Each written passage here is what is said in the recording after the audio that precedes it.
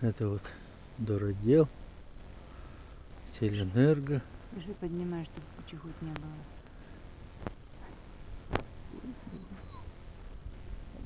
Дубровка.